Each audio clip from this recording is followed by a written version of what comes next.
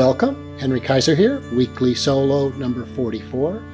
You know, first and foremost, I am a diver. I've been a diver since I was 11, long before I started playing music, and I'm a diver in the U.S. Antarctic program, where I've uh, been working down in Antarctica under the ice since 2001. I've had 13 deployments, probably spent about three and a half years or more of my life there, and uh, I love it.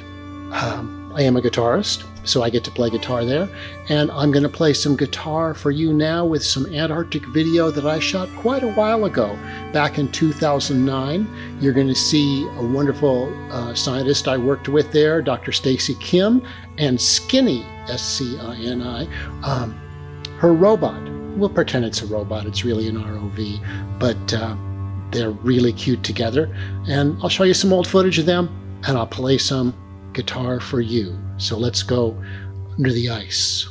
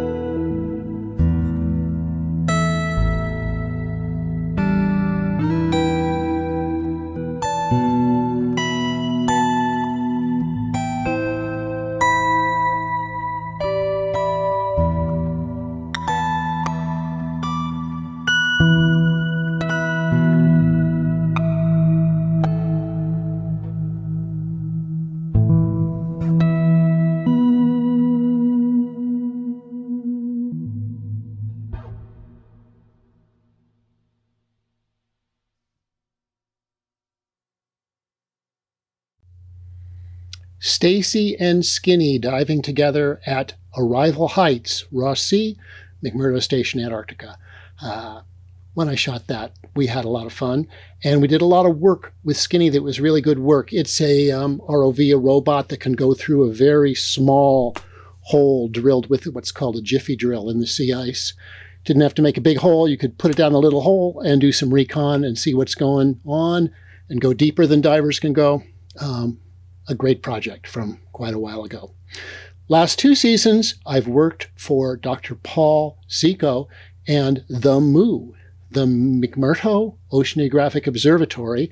This is uh, some telemetry that we placed on the bottom um, that has camera, 360 degree camera, and uh, temperature sensors, pressure sensors, and audio recordings. And I placed this there with Paul. It was a lot of work, and um, I kind of love the little thing. So I made this little tribute to it 36 views of the MOO after Hokusai's 36 views of Mount Fuji. And uh, a friend of mine, Kiku Day, a terrific shakuhachi player, and me playing acoustic guitar are on the soundtrack for this. So 36 views of the MOO.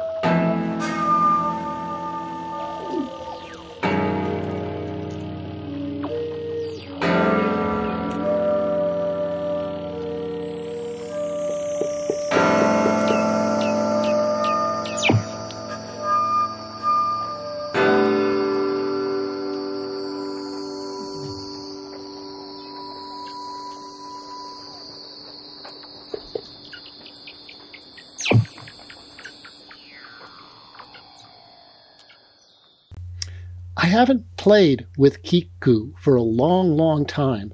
Uh, that music was from 2006, and I've got a little bit of video of us from 2006. It's not great quality, but it's what I have, and we're going to play three quick acoustic duets for you.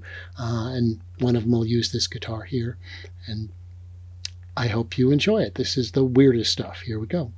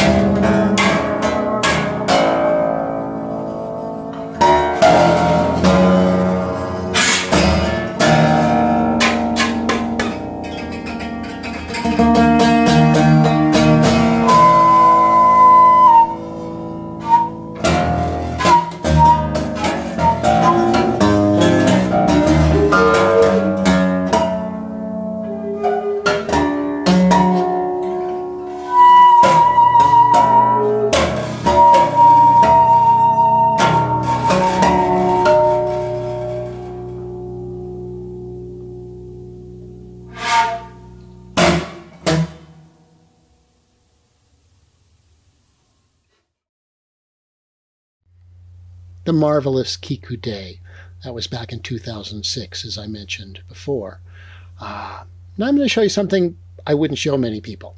Uh, most of the underwater video I show from Antarctica is spectacular, the clear water, the beautiful light, like the SCINI and Stacy video we saw at the beginning of the show. Now I'm going to show you a dark and scary dive in New Harbor, Antarctica. See that tent behind me? I have lived in that tent for two and a half years of my life on the frozen beach, on the frozen ocean in New Harbor, Antarctica, where I worked for Dr. Sam Bowser. Many deployments. We studied foraminifera, uh, little single celled animals down in the um, bottom, in the muck. And I love that place. It's my home. And my Under the Ice is my home too. So Paul Cziko and I, with the MOO Project, we went to collect some fish a couple of years ago at New Harbor, and I'm going to show you a deep, dark, and scary dive. From that, um, we opened up a hole in the ice after having flown in by helicopter, which you saw at the beginning of the show. And then um, Paul in his orange suit, me in my black suit, and Lisa in her pink suit will all go diving. You'll see us getting in and out. You'll see what it's like, oh, about 100 feet down, a little more than 100 feet. Uh, a dark and scary place when there's a lot of uh, snow on top of the ice, but a place that feels like home to me, a place where I know every rock and every sponge. And I probably have 200 dives there at this spot. I would guess that. Okay, so let's go to New Harbor.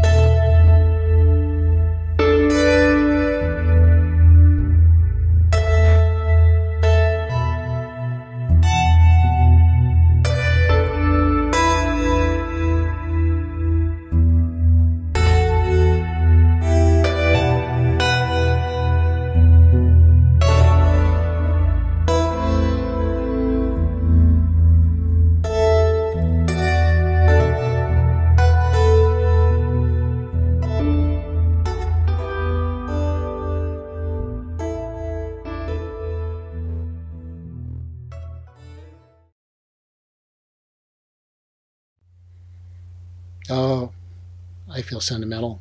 I feel nostalgia. I miss New Harbor. Hmm. Let's end with a clip from 2001, my first trip to Antarctica, when I went on an artist and writer's grant rather than being a full time working scientific diver. And I got to go to South Pole Station, and I'm going to show you two entertaining little episodes that happened at the South Pole to me. So enjoy.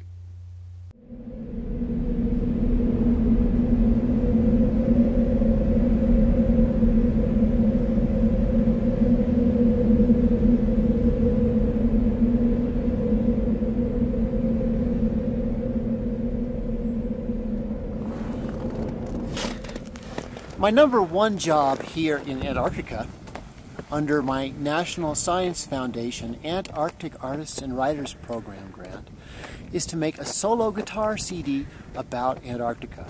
To record it all here and for all of it to be about Antarctica, about the incredible natural wonders of the continent, the history, all sorts of things.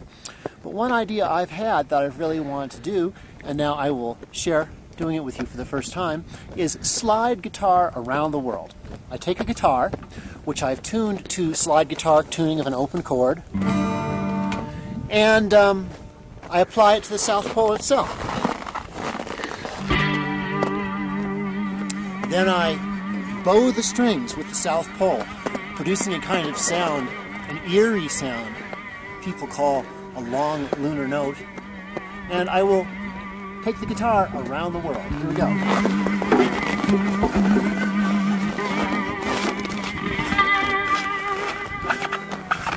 And that's it. Slide guitar around the world in 10 seconds.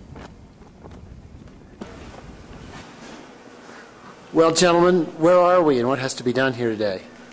Well, we are in the heavy shop South Pole Station, South Pole, Antarctica, and we are going to perform an exorcism of El Gran Chingazo. And that's behind us? El Gran Chingazo. Tell us about it. It is a machine engineered, designed, and built by engineers, hence the problem. And we are here to exorcise its evil spirits because it's beginning to put out negative mojo, and the crew is feeling it.